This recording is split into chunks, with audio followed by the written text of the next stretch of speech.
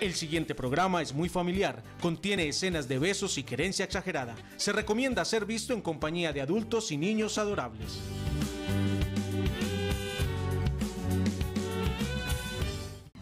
Nos unimos en un arrullo para abrir juntos un camino. Yo te ayudo a empezar el tuyo, tú haces más feliz el mío. Y entre dudas, llanto y caídas, entre risas, besos y abrazos, juntos nos gozamos la vida paso a paso, construyendo desde el amor, paso a paso, para hacernos la vida mejor, paso a paso, Hoy, hoy, hoy, hoy, en Paso a Paso hablamos de juguetes. Bienvenidos a Paso a Paso. Hoy es viernes y hoy tenemos un programa espectacular, como lo anunciamos, con todos los juguetes, ya, literal. Literalmente. Ay, usted cómo hizo. Sí, A Blancanieves. ver. Ah. Esto, esto, esto tiene su ciencia. todo. ¿Cómo están? ¿Cómo Yo soy están? Blancanieves. Hola, bienvenidos a Paso a Paso. ¿No sabes qué regalar esta Navidad? ¿Quieres dar algo que sorprenda a tus hijos? Bienvenidos. Qué bueno, qué bueno.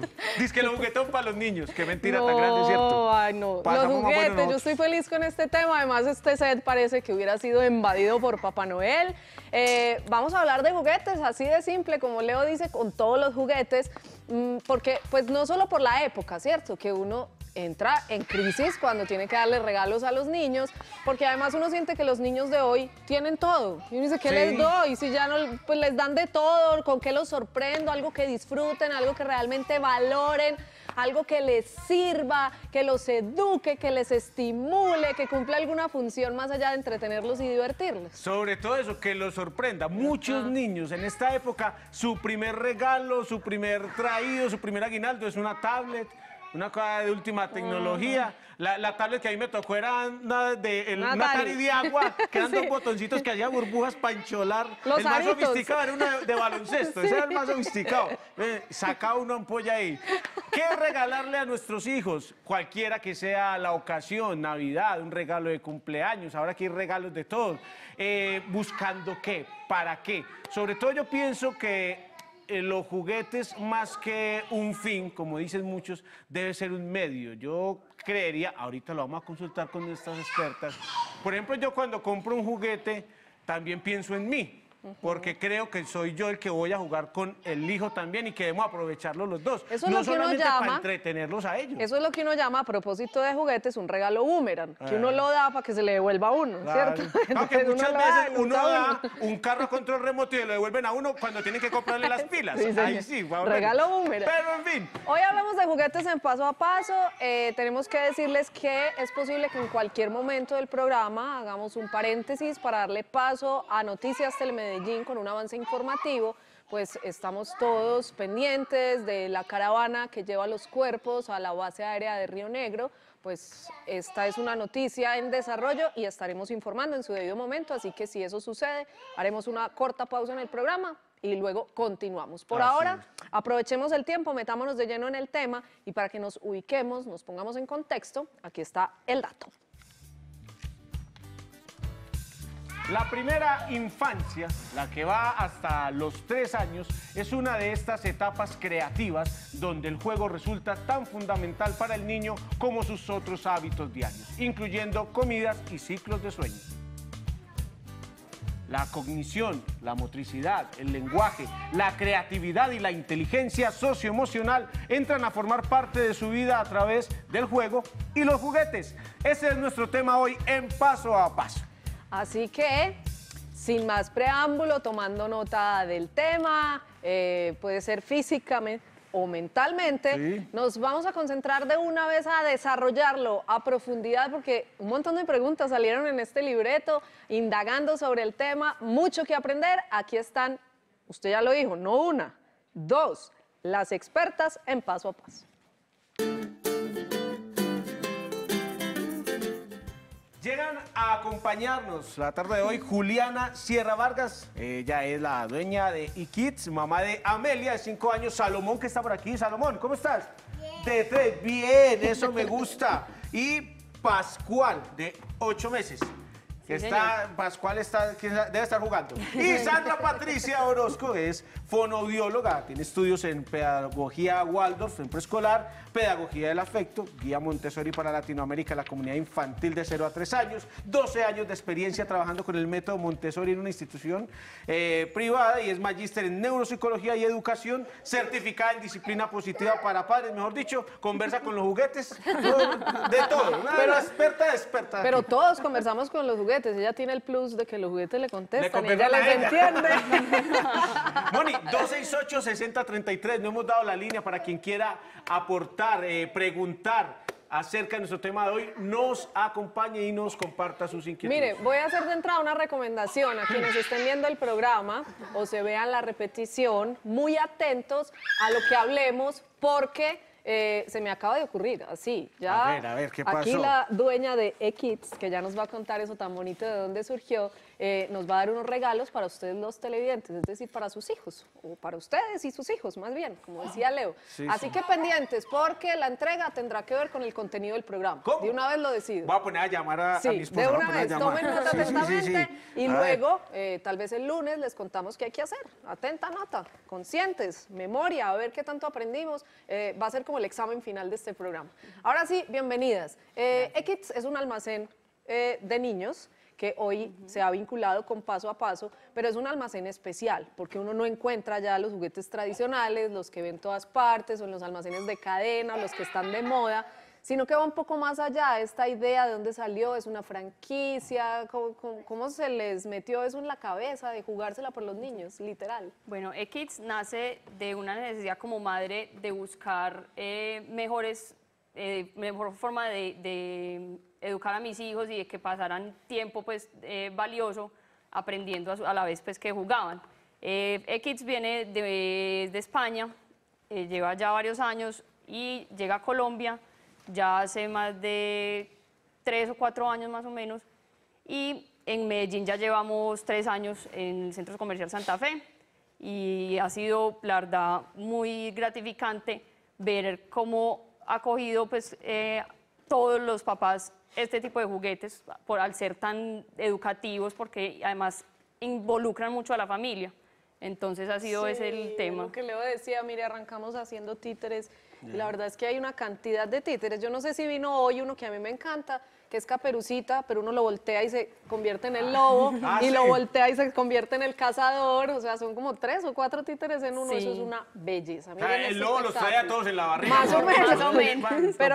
Pero, Sí. sí, esa es la magia, digamos, de este lugar, que marca la diferencia porque se sale de lo comercial y realmente como que piensa en las necesidades de los niños y los papás. Concentrándonos en el tema, ahora negociamos aquí unos posibles descuentos para los televidentes y llegan allá a X a comprar, a mercar para Navidad. Eh, pero concentrándonos un poco en el tema, empecemos, yo creo que está más para ti y ya nos metemos como un poco más de fondo, eh, básicamente en repasar como los episodios o esos eventos de la vida en los que uno como papá y los niños reciben un, un juguete como regalo. Sí, bueno, eh, para los juguetes normalmente existen los episodios pues como eh, especiales que son cumpleaños principalmente, eh, lo que son Navidad, son como los momentos que para los papás es muy importante darles a sus hijos pues eh, su detalle y un detalle para un niño es realmente un juguete donde ellos disfrutan de ellos. Y aparte ya está lo que es bautizos, nacimientos. Eso quería preguntar, en esas primeras etapas, ¿se usa ya de entrada regalar juguetes? Sí, ya en este momento se está usando mucho, eh, sobre todo con los baby showers también. Y ecografía shower también, que ya, ya cada vez es desde Más para antes. atrás, no, más que todo ha sido como lo- los baby showers, ya cuando saben pues qué, qué, qué- qué- qué sexo tiene el, el niño, es como donde arranca el momento de, de las compras de los, de los juguetes.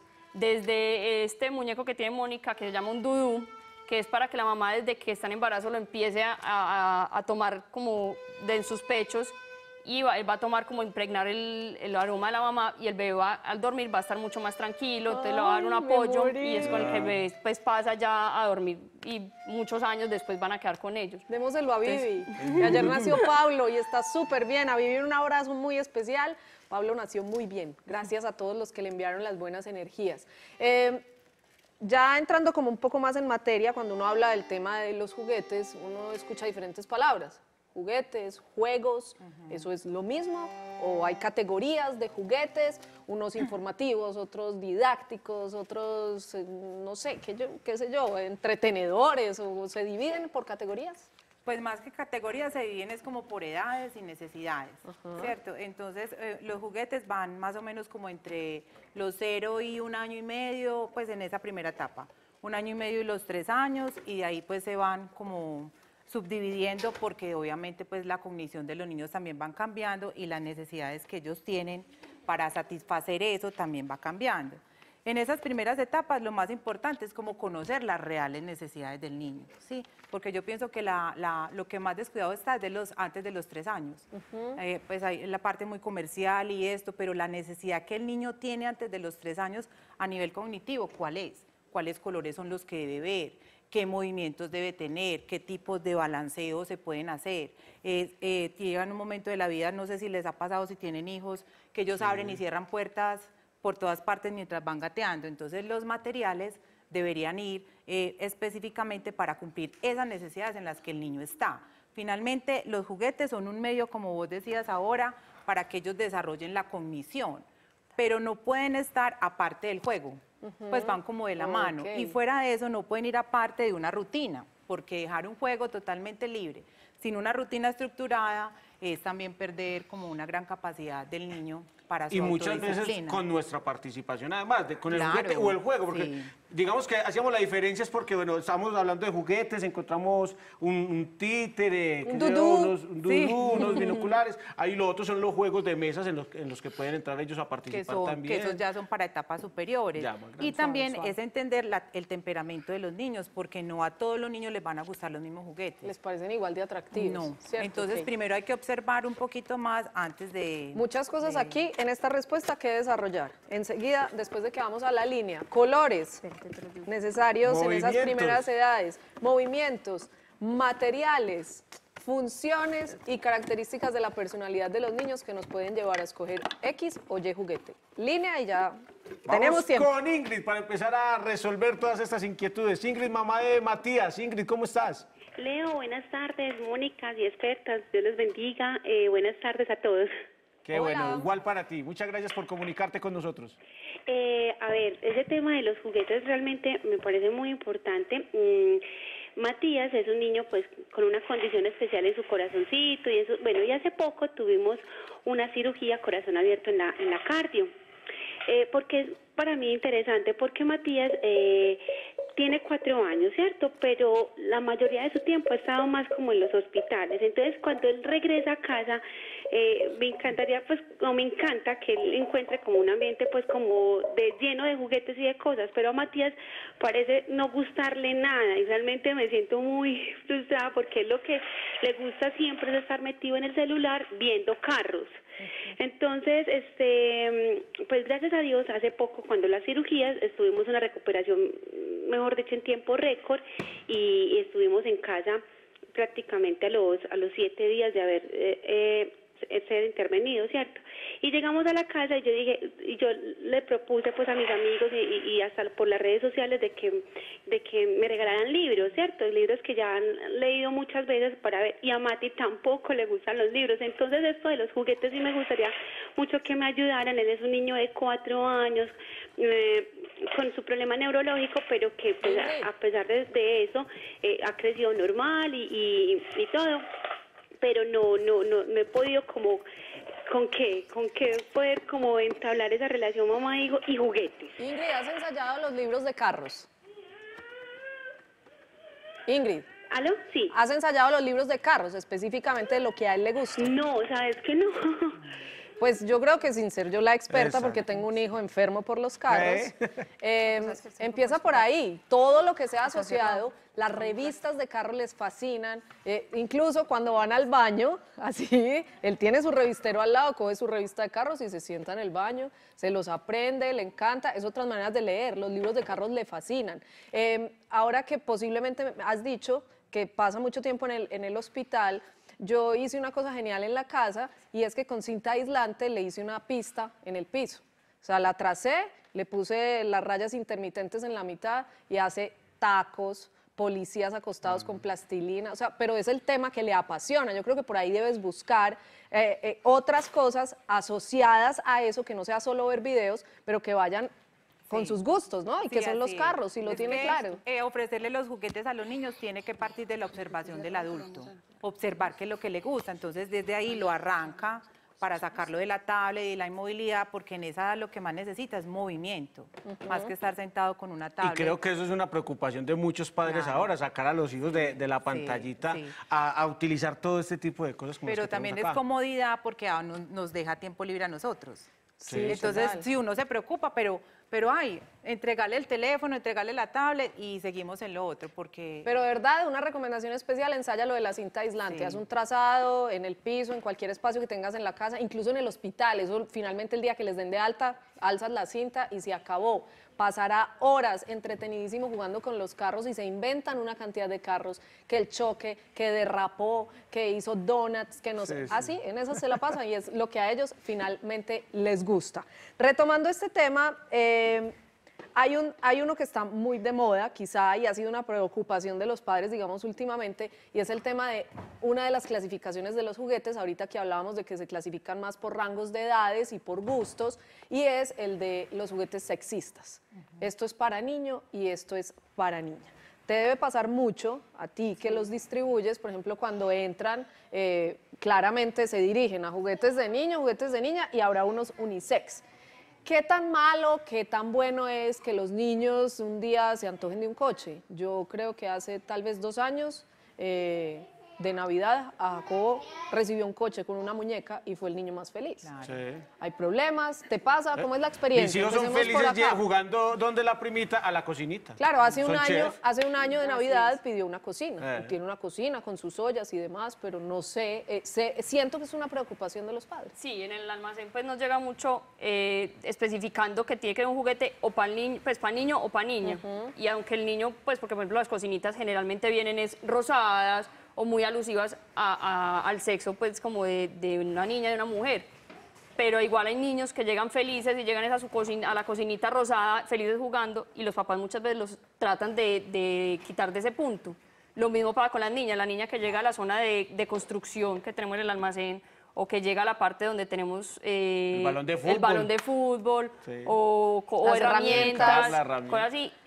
Pa- las mamás también son como, no, no, no, ven, mira, te muestro las muñecas, la casita de muñecas. Y nosotros hemos, hemos tratado mucho de, de- en el almacén, pues, de ser conscientes de los papás de que es decisión, pues hay que ser conscientes de lo que el niño necesita y apoyarlo, porque eso no tiene que ver mucho con el sexo, sino es, son juegos de simulación donde es muy importante que el niño también, que como hombre entienda lo que la mujer hace, como lo mismo para la, para, para la niña, pues, y yo que tengo los dos sexos, les digo, o sea, a Salomón le encanta irse a jugar a la casita de muñecas con su hermanita a la cocina, como a Amelia las herramientas. Y en mi casa nunca hemos hecho pues como una separación de sus juguetes, ¿no? O sea, los ¿Cuál? juguetes son para todos y el que quiera jugar Sobre con todo si han tenido ese ejemplo en, en la casa. Si a mí los hijos me ven cocinando, les parecerá normal coger una sartén. Uno es el que no, le pone parte- como el morbo, Eso es ¿cierto? un tabú. Sí. Eso es un tabú porque los juegos no tienen sexo, los juguetes no, ni los colores tampoco. En ningún momento dijeron el rosado era para las niñas y el azul es para los niños. Y a mí me pasa mucho en la cotidianidad cuando, eh, como trabajo con niños pequeños, eh, profe, el, el carrito, pero es que es de niños, pero ¿y tu mamá en qué te trajo? En carro, bueno, también es de niñas. Claro, por ende, Florencia juega todo el día con carros, dada la afición de Claro. su hermano, y ya Jacobo ha pasado por la cocina y el coche, como les conté, y mi suegra siempre responde frente a los colores, eh, cuando dicen, no, es que eso es rosado, y es que el rosado tiene vagina. Así responde, que me parece una respuesta muy ilustrativa para esto que estamos tocando. Vamos a la línea. Está Milena con nosotros, mamá de Manuela y María Fernanda. Bienvenida, Milena, ¿cómo vas? Hola, Milena. Milena, Hola, ¿cómo están? Muy bien, felices de escucharte. Bien, Cuéntanos. gracias. Eh, era para preguntarle a la experta, o sea, por ejemplo, pues ahí están hablando más que todo de, mm, de juguetes para niños, pues bebecitos, o sea, entre 3, 4, 5 añitos, ¿cierto? Como los primeros años, pues, de los niños. Yo tengo una niña de 8 años. Ella eh, le gusta mucho como, eh, o sea, jugar a cantar, a bailar, a que ella es como la profesora. Pues como que se quiere destacar en todo y canta hermoso. Entonces me gustaría pues saber para ahora, para Navidad, porque estamos pues, ella ya sabe que quién es el niño Dios, toda esta cuestión pues de la Navidad, ya hablamos con ella, entonces nos gustaría darle un aguinaldo de, de saber un regalo, pero algo que ella le guste, que yo diga, mami, mira, te gustó esto, te voy a regalar esto, porque ella eh, no le gustan las muñecas. O sea, mi niña no juega con muñecas, ninguna de las dos, ni a la cocinita. Pero les gusta ese tema como el espectáculo, de verse así pintaditas, pues maquilladitas, que cosas que le brillen.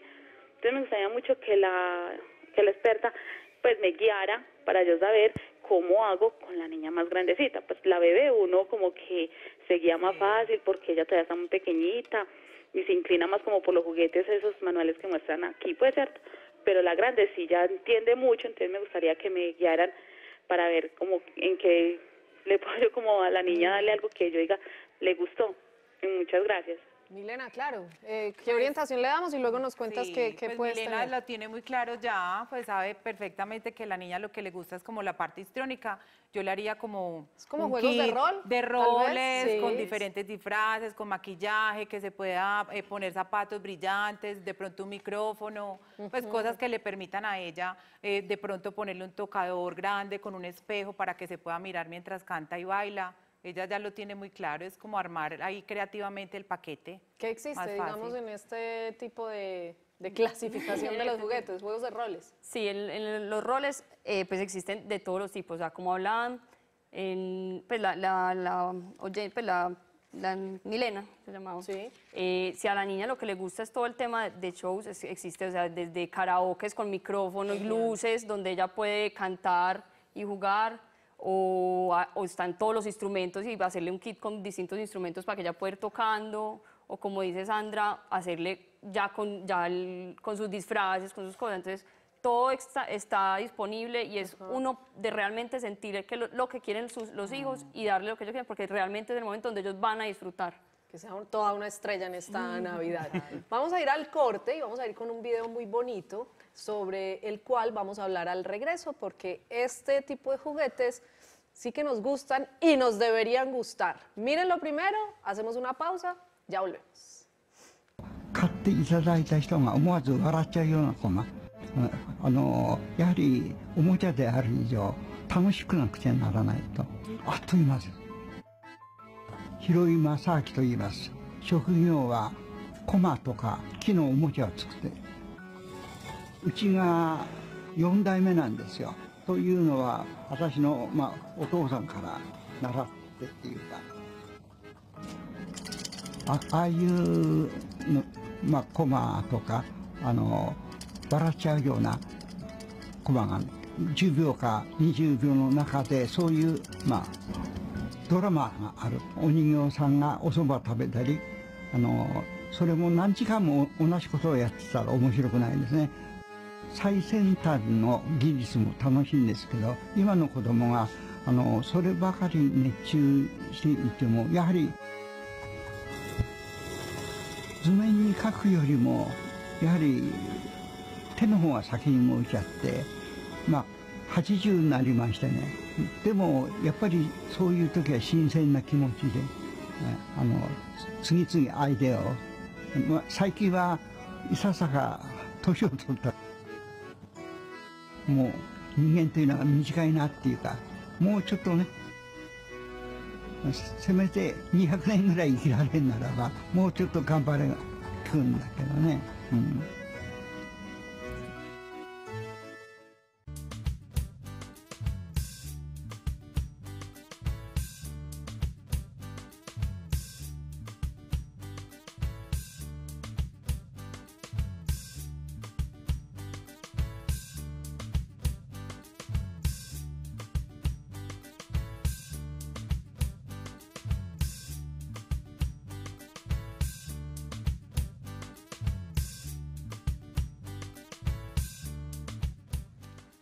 Ahí tenemos a Antonia, Daniela, Julieta en Mamarazzi de paso a paso y seguimos hablando de los juguetes. Veíamos en el video antes de irnos a la pausa un hombre con mucha madera para hacer juguetes. Están muy hermosas. Juguetes tradicionales y aquí estamos. Va, yo estoy encantado con esto. Estos para encajar son fabulosos para los niños pequeños, ¿no? Para los más pequeños. Pero concentrándonos en los juguetes de madera, Sí. que fueron los primeros juguetes que existieron, hoy se conservan, incluso hubo un tiempo en que pasaron de moda y otra vez están como de alguna manera recuperando su esencia, que es lo maravilloso de los juguetes de madera, más allá de lo bonito y de todo el trabajo que requieren, que uno admira muchísimo, eh, didácticamente, cognitivamente, que, ¿cuáles son sus beneficios? Lo tienen todo.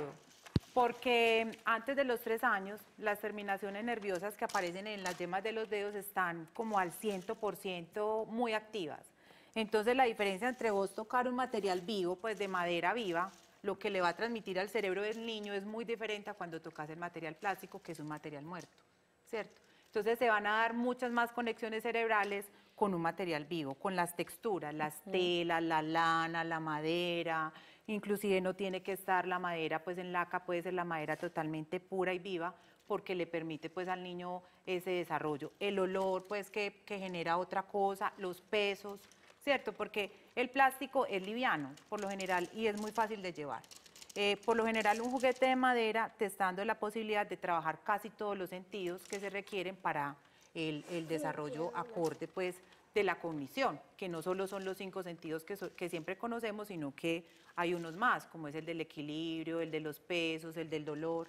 Entonces la madera eh, siempre, eh, Hasta- en mi concepto, será pues superior Madera y a... textura. Hasta lo más sencillo. ¿eh? Yo, yo tuve un palito de escoba, una escoba que era todo para mí. Una, Claro. Era una guitarra, era un caballo, era, era, era una pareja de baile. Eso- Además de la posibilidad que siempre ofrecen de, de desarrollar el pensamiento creativo, porque vos con un material eh, de madera, esto puede ser una torre en un momento y al otro día puede ser un carro y entonces nunca el niño no se cansa porque siempre está la posibilidad de crear.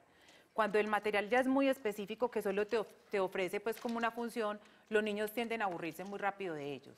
Y por eso también como el auge del consumismo con los juguetes, ¿cierto?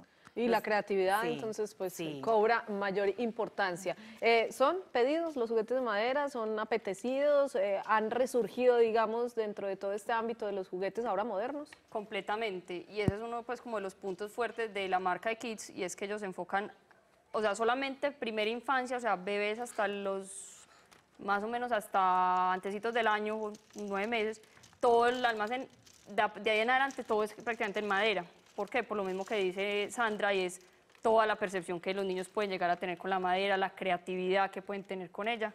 Entonces, todo de ahí en adelante eh, viene siendo madera o cartón, obviamente un cartón reforzado pues, por el manejo que un niño le va, le va a dar pues, para que sean resistentes, pero todo viene siendo eh, muy ecológico, muy con ese concepto de ahora pues, de proteger todo y es muy lo que trae la- el almacén pues, ahora con ese tema. Saludemos a Mari, la abuela de Julieta. Mari, ¿cómo estás? Bien, ¿y ustedes? Quería Muy bien.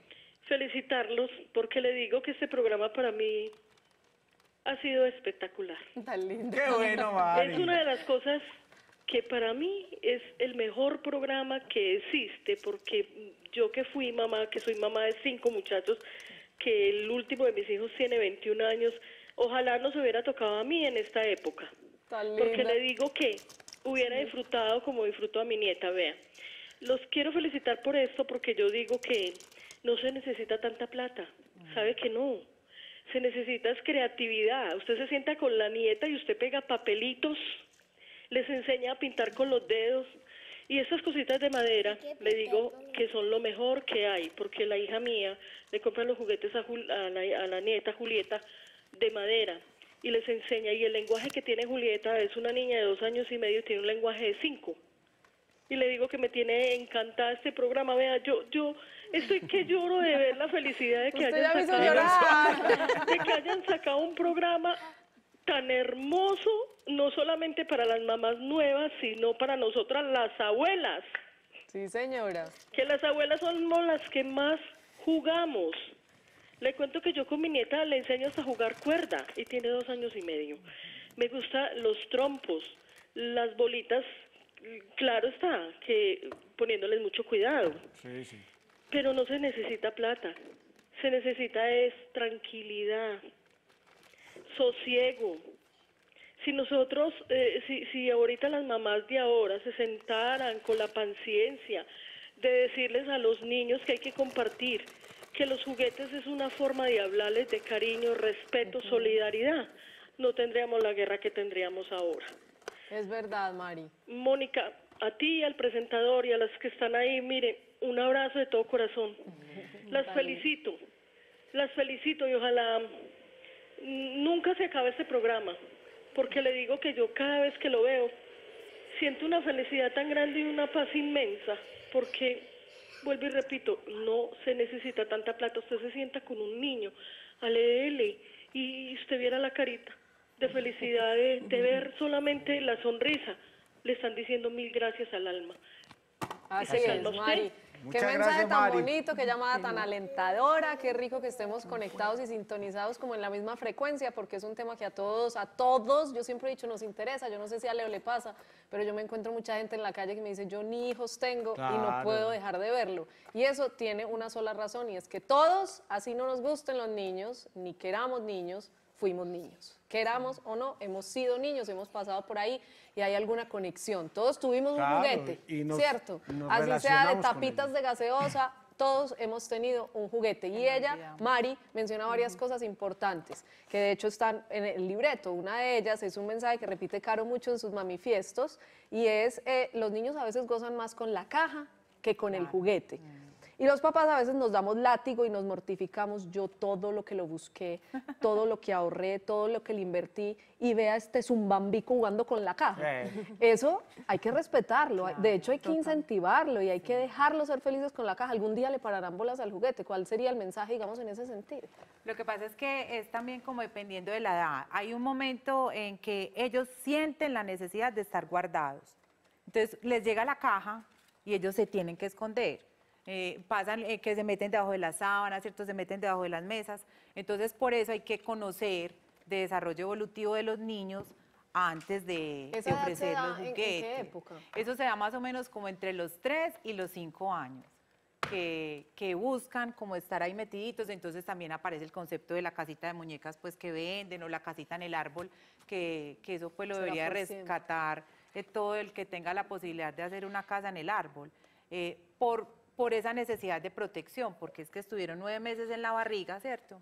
Muy protegidos y muy de todo, entonces de alguna manera siguen buscando un entorno que sea más protegido mientras ellos van ganando seguridad. Pero tampoco debe ser un motivo de angustia para los No, papás para que, nada, que disfruten más con la caja que con el nada. juguete. No, pero es que por lo que decía Mari, nuestra televidente, en este caso, o en la mayoría de los casos, con los juguetes menos es más y termina siendo más productivo. Uno se encuentra con otras cosas también y es que cuando hay juguetes muy modernos, que uno compra el robot que habla, que le responde al niño, que le para en la cabeza, que se voltea, uno no sabe si compró un juguete o simplemente como un espectáculo para el niño, que dura 10 minutos mientras el muñeco hace todo y el niño ni interactúa ni hace nada con él. Pues y el juguete va a ser de lo mismo vez. siempre. Exactamente. Lo Y es mismo muy, y lo y es muy mismo y lo importante, mismo. pienso que pues uno como mamá tiene que ser muy importante conocer sus hijos y saber realmente qué es lo que quieren, no, no simplemente buscarles un juguete, porque ay, sí me pareció divino a mí. De pero con los amiguitos nomás. o- y, y me pareció divino a mí, pero realmente el niño no es de la personalidad, el niño no es, porque por ejemplo nosotros llegamos, no es que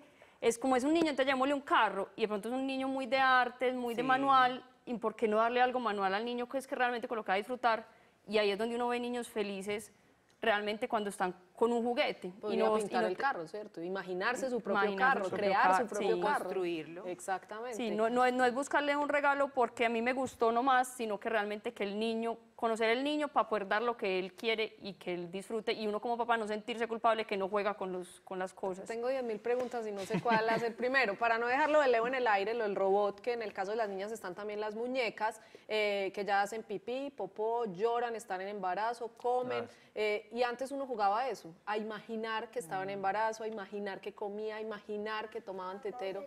¿Qué tan perjudicial es? eh, porque sí, definitivamente lo disfrutan y sí, la ciencia avanza y la tecnología y rico, pero ¿qué tan perjudicial puede ser para un niño en temas de frustración de la creatividad, de la imaginación, de la fantasía? Todo, porque es que es como eh, seguir trabajando en la inmediatez, ¿cierto? Todo está listo ya, o sea, la ley del menor esfuerzo. No tengo que pensar, no tengo que crear, no tengo que hacer, porque ahí está. Pero la muñeca siempre va a hacer lo mismo, o sea, la muñeca siempre va, va a llorar de la misma manera, va a hacer el popó de la misma manera, no le da otra posibilidad, va a tener el rostro siempre sonriente. Cuando no de todas maneras trabajar las emociones es lo fundamental en los niños. Unas veces estamos tristes, otras veces enojados. Inclusive dentro de los conceptos de los juguetes Baldor aparecen los muñecos sin rostro. Sí, los ¿cierto? acá. Para que ellos eh, puedan crear esas... em- Hoy estoy jugando a que el muñeco está triste porque probablemente el niño o la niña está triste. Y es muy difícil encontrar una muñeca de esas No, básicas, sí, de esas que no, no, hacen nada. no, no, no. Yo la he visto allá. Sí, Sí, nosotros, porque nosotros... muy básico. Sí, nosotros en el almacén lo que tratamos es, o sea, en el almacén no van a encontrar nada con pilas, nada, pues es muy poquito, nada más lo de bebés, porque los sonidos que el para el bebé es muy importante, todos los sonidos, y son sonidos básicos, o sea, son sonidos de una campana, de una vaca, de un, pues, de un animal, pero no son... Y es lo único que en el almacén existe con, con- con pilas, de resto todo es muy a la imaginación de, de los niños, incluso los cuentos, nosotros no tenemos libros con cuentos, sino que tenemos rompecabezas con los cuentos para que los niños puedan crear su propio cuento, aunque es el mismo de Caperucita o el de los tres cerditos, pero los niños, ellos apenas lo van armando, se van creando otro cuento completamente distinto, simplemente por imágenes, y es muy rico ver cómo esa imaginación se, se estimula con ese tipo de juguetes. Uno que tiene que poner las pilas a jugar con los niños. Vamos a la línea con Ángela, mamá de Angélica. Bienvenida paso a paso, Ángela. Hola. ¿Cómo estás? Ay, súper feliz. Vea, tengo muchísimas cosas que contarles. A ver. A ver, Ángela, a ver, vamos He con una y llamado quiera. a ver. antes, cuando estaba en embarazo. Y bueno, entonces ya nació Angélica, tiene dos meses. Bien. Dos meses y cinco días, como dice Mónica. Una más, muy bien. Vamos bien. Bueno, entonces, yo quería eh, comprarle a Angélica como un gimnasio, esos de bebés, que para que estirara los brazos, escuchara que hacía ruidos y todo el cuento, ¿cierto? Que para estimularle todas esas cositas, pero la verdad no sé bien qué juguetes le sirven a, a un bebé tan pequeño. Entonces, como para que las expertas me contaran eso. Súper buena pregunta. Tengo una hijastra de seis años que a ella le gusta mucho hacer pociones. Entonces, como de, de las películas que ve de princesas y eso, ella dice que hace pociones y coge los poquitos de mis cremas y va y recorre por todas las casas, por toda la casa y busca cositas y, y fabrica, dice que fabricó una crema de manos y que se inventó tal cosa. Entonces, no he podido encontrar como un juguete que, que le desarrolle como esas ganas de hacer experimentos. Muy bien. Muchas, muchas gracias, muy pertinente O las un proyecto de emprendimiento infantil. Usted tiene una empresa ahí de, de cremas Sí, O guardar los tarritos de agua y ahí Sí, tiene para que haga las pociones, porque creo que en un jardín encuentra de, todo, para hacer las mezclas. Con las cremas de ustedes también se va a divertir muchísimo como lo está haciendo, los champús y demás. Pero, ¿qué hay entonces para recién nacidos, por ejemplo? Y, y luego nos dice, o más bien, empecemos por las recomendaciones. ¿Cuáles deberían ser las características para unos juguetes, para unos recién, o, o por etapas? Por etapas, bueno. Eh, pues comúnmente se maneja como el concepto del gimnasio, es como lo que más se conoce. Pero entonces ahora, viendo uno el neurodesarrollo, lo que los niños necesitan ahora es movimiento. Entonces tiene que ser juguetes que los lleven al movimiento. Por ejemplo, hay una pelota que no es la pelota común, es una pelota Montessori, ¿cierto? Entonces tiene unas agarraderas más pequeñitas, se hacen tela y lo que se le hace es que se les va poniendo a los bebés o a un lado o al otro con los colores o adelante para obligarlos a que se volteen para un lado, para el otro o a que se arrastren y empiecen a gatear. Porque en este momento lo que se necesita es que ellos empiecen a mover, ¿cierto? Porque empiezan a madurar cefalocaudal, o sea, desde la cabeza hasta las extremidades y próximo distal, para que se puedan después sentar y gatear. Entonces, no, no debe ser solo pensar en acostar el bebé a que mueva unas cositas en el gimnasio porque limita todo lo que el niño puede hacer. Eso en términos de movimiento, y ahora hablabas Sí. de los colores, que es una duda de muchas mamás, y uno encuentra unos, unos eh, juguetes específicos hechos para esas edades en rojo, en tonos rojos, blancos y Y negro. negro, sí, porque son los primeros colores que el ojo registra con nitidez. Los otros los van, van llegando de acuerdo a la maduración cerebral, van llegando pues como en sus tonalidades, pero los primeros que entran directamente son esos. Entonces el niño obviamente capta eh, muy fácil, es- ese es el primer movimiento que hace, empezar a seguir cosas con sus ojos, que son los ejercicios que los papás deben hacer. ¿Qué opciones hay? Bueno, opciones eh, existen por muchas. por esos rangos, sí, de rangos. Tan sencillas como pues cosas en la casa de, de papel o cosas, porque también existe pues la forma fácil de hacerlo en la casa con papeles de colores que le hagan sonido. El niño necesita mucha estimulación, pues como, como dice Sandra. Pero también tenemos, por ejemplo, en el almacén como son eh, los libros que, mm, que tienen colores y sonidos donde uno lo que hace con ellos es ir llevando al niño para que, para que haga sus movimientos. Entonces el libro le hace sonido a un lado, entonces el niño va a buscarlo Ujú. o al otro. Eh, están los gimnasios, pero los gimnasios más que todo lo utilizan es, pues, y lo que, a, lo que, a lo que le hemos vendido más ha sido más con el tema de, de comodidad en su momento, pero siempre que haya un adulto buscándole que tenga el movimiento hacia los lados, no solamente dejarlo a que con la mano mueva hacia arriba y ya, no, o sea, que, que el, que el niño siempre esté con un contacto con un Una adulto guía, que, le ¿no? esté, que le esté guiando, pues, como su movimiento. Y para esta niña de experimentos así, con ganas de Y en ciencia. el, en el otro antes, como muy importante para los bebés menores de seis, un espejo que esté a ras, que ellos puedan estar en el, en el piso y siempre se puedan estar observando. O sea, un bebé debe estar en el piso, ¿A qué piso edad reconoce limpio. un bebé su imagen en un espejo? Eh, pues si se trabaja rápido, rápido, más o menos a los seis meses ya empieza como a Ya empieza a identificarse. Pero como identificarse. eso nunca se hace, a veces llegan hasta los 10 y 12 meses y ni siquiera Sin saber qué es eso yo. reconocerse. Sí. Entonces, ese, ese es el juguete principal, tener Un espacio donde él se pueda mover y un espejo para observarse. Nos vamos a la niña A la científica. A la niña científica, pues nada más delicioso que ella cree en su casa, porque qué más, Sí. qué, qué más importante que incentivar la, la creatividad propia. Sí, por eso decía yo guardar Eh, los de- tarritos de- de, agua eh, para me que- parece delicioso y que, y que la deje porque eso es mu- más importante que cualquier cosa. Obviamente existen juguetes de experimentos, hay de experimentos de aguas, de luces, eh, de todos, pues de varios tipos. Eh, no son fáciles de encontrar, no son muy sencillos. Principalmente pues los, lo- los juguetes míos son extranjeros, pero la- por, por temas de regulaciones son muy difíciles a veces traer ese tipo de productos por los mismos eh, cosas que, que traen adentro. Entonces, no siempre podemos traer ese tipo de juguetes y son escasos, pero qué más rico que, que la imaginación de los niños. Pues, Sí, O sea, yo, yo creo que uno tiene que incentivar la imaginación en su casa más que tener mil juguetes que le, que, que le hagan simplemente seguir una guía y ya. No, o sea, no. Desde armarle la bata para que ella se sienta Sí, toda una científica, cosas ¿no? Caseras, las igual también se pueden comprar como los tubos de ensayo, o sea, puede comprar cosas reales. No tiene que ser necesariamente que tenga que encontrar un kit en un Sí. almacén, no. Sí, Es más, son difíciles de encontrar Me voy a adelantar. pero-. Estaba ah, programando, repasando y estudiando para la próxima semana que tenemos un programa muy especial de actividades para hacer en casa en estas vacaciones.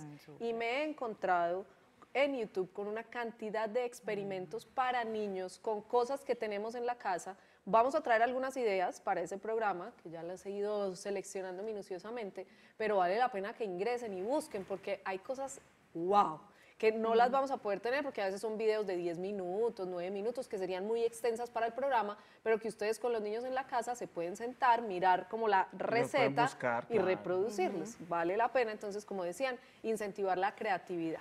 Hay una cosa que me preocupa y yo sé que es preocupación de muchos padres con niños más grandecitos y es el tema de los juguetes bélicos, de las pistolas, porque en el mercado, en televisión están viendo constantemente eso.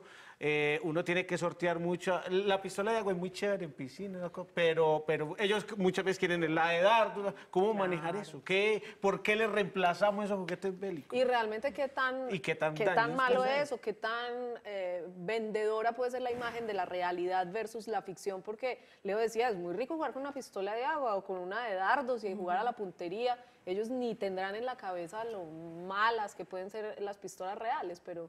pero Lo que pasa es que eso tiene como un tema más trascendente que va desde lo social. Pues cierto, el tema de la guerra siempre también tocará el consumismo y de alguna manera pues a los niños como para uno seguir ahí engarzado Sí. en el tema de las armas y todo eso es como un tema muy reforzado. Creo que tiene que partir desde la conciencia del adulto, de lo que para él significa la guerra, ¿sí?